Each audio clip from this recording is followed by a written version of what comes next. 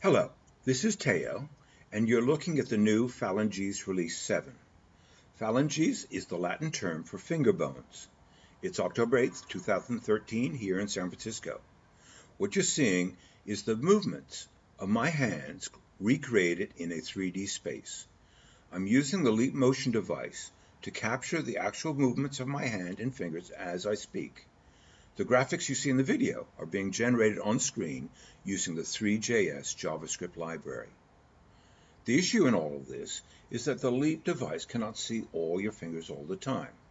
So whenever one of the colored blocks disappears, it means that the Leap device cannot see that finger.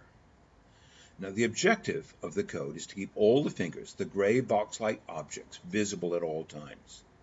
The second objective is to have fingers not go off in crazy directions. As you can see, there's a fairly good connection, but it's not perfect. I can make my hand pitch, roll, and yaw. I can wiggle my fingers, and mostly the fingers are visible and not too crooked. And it's a lot better than release one. Anyway, all of this is very much a work in progress. What you're looking at is example or cookbook code.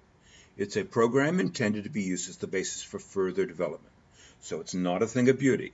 For example, you can see all the dummy objects used to make the fingers point in the right direction. They're just there for testing and won't be uh, um, visible in later programs. Speaking of later programs, the next generation of code based on this work will be out very soon. Are two major features going into this code.